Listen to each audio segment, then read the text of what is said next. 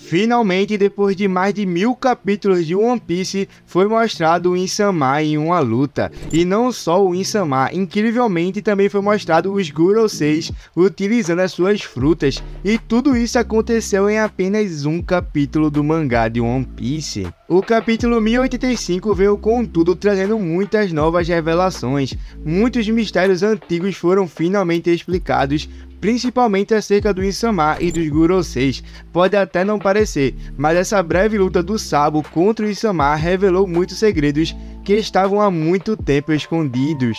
Será que o Insama é realmente tão poderoso quanto achávamos que ele era? Quais são os reais poderes dos Goroseis? O Sabo de fato está no mesmo nível de poder que o Insama? Nesse vídeo eu vou te explicar com detalhes tudo o que aconteceu nesse mais novo capítulo de One Piece. Se você gostar dessa análise, eu peço que você deixe o like e se inscreva no canal. Toda semana eu posto vários vídeos sobre One Piece, então se você, assim como eu, ama esse anime, eu te convido a conhecer aqui o canal. E agora, você saberá todas as revelações do capítulo 1085 de One Piece. E o capítulo se inicia com o Rei Cobra completamente surpreso por ver que o trono que deveria estar vazio, na verdade não está. Ele cita que o mundo não deveria se mover a partir do desejo de um único indivíduo, e logo em seguida finalmente é mostrado o Insama falando abertamente. Ele se auto-intitula de Mu, e diz que quer que o Cobra responda uma pergunta a ele. E aqui vemos algo muito interessante, por algum motivo o Insama fala dele mesmo na terceira pessoa,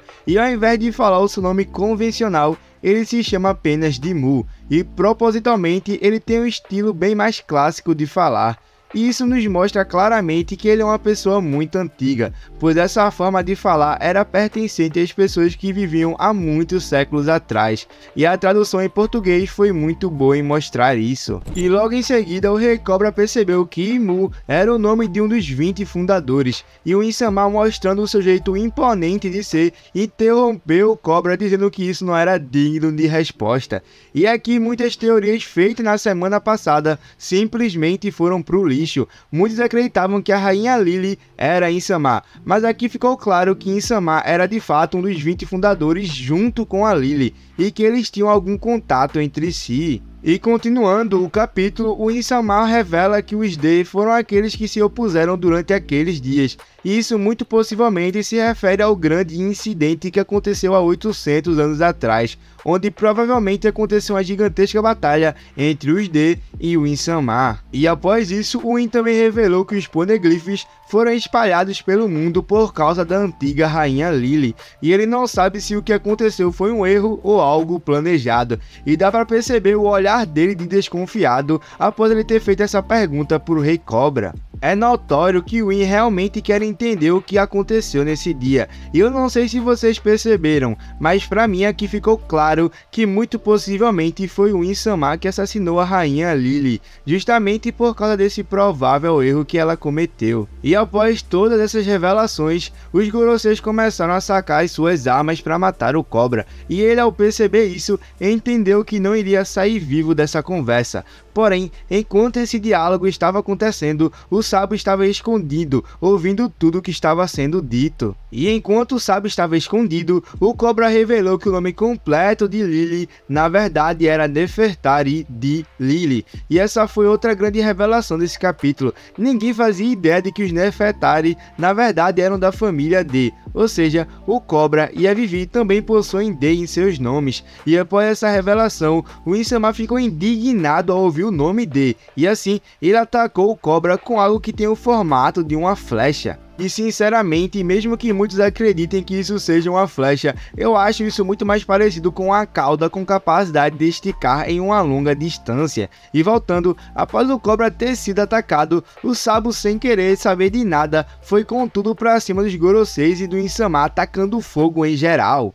Vocês têm noção de que nesse momento o Sabo simplesmente foi para cima das seis pessoas mais influentes do mundo de One Piece e o ataque do Sabo foi tão poderoso que o Insama e os Guroseis automaticamente ativaram as suas frutas e cada um tem uma forma diferente, sendo uma mais bizarra do que a outra, se parecendo respectivamente com um touro, um tipo de humano, um primata, uma ave, um elefante e o Insama basicamente parecendo com o capeta. E após o início do combate, o Cobra revelou pro Sabo que ele e a Vivi também são da família D. E mais uma vez, após o D ser citado, o Insama usou seu ataque no Cobra e no Sabo, atingindo em cheio os dois. E aqui já dá pra ter uma certa noção do quão forte é o Insama. Olhando como o Sabo ficou após receber um único golpe dele, é notório que o Insama é bem forte. E com isso, o Cobra já não aguentava mais andar ele já tinha entendido que iria morrer ali, e mesmo sendo um cadeirante, em uma cena emocionante ele ficou de pé,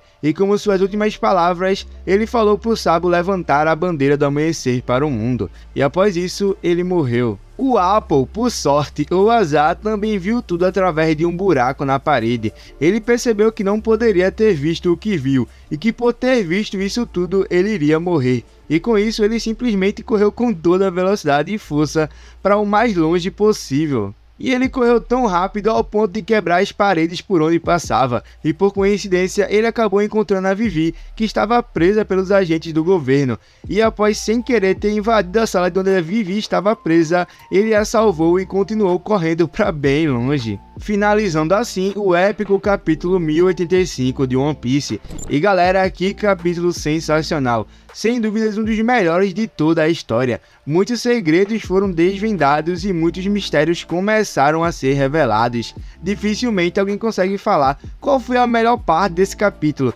porque basicamente o capítulo inteiro é bem feito, mas a parte que mais me chamou a atenção foi a revelação dos poderes dos Goroseis e do Insama.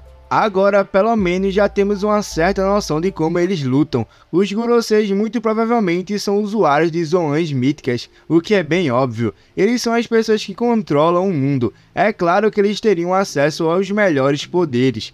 Já o Insama, eu diria que ele possui a fruta do demônio, justamente porque temos a inversão de papéis na história. Os D que tentaram libertar o mundo foram vistos como os demônios, já o Insama e os Guroseis que aprisionaram o mundo são vistos como os deuses. Então nada melhor do que o inimigo final do Luffy ser basicamente o capeta. E a maior evidência que temos para isso é a possível cauda do Insama que foi mostrada durante a luta. O formato dela é bem semelhante às caudas dos personagens que representam o capeta em outras séries animadas. Mas e aí, o que você achou desse capítulo? Qual foi a revelação que mais te impressionou? Tô ansioso para o próximo. Já comenta tudo aqui embaixo que eu quero ler e responder todos os comentários. E claro, se você gostou desse vídeo, assistiu até aqui e realmente gostou, eu peço para você deixar o seu like. O seu like é muito, muito, muito importante para esse vídeo ser divulgado aqui no YouTube. E se você gostou dessa análise e quer ver mais toda semana, já se inscreve e ativa o sininho das notificações. Toda semana eu posto vários, vários vídeos sobre One Piece. Então se você gosta desse anime, não esquece de ativar o sininho. Mas é isso, obrigado por tudo, valeu, fui!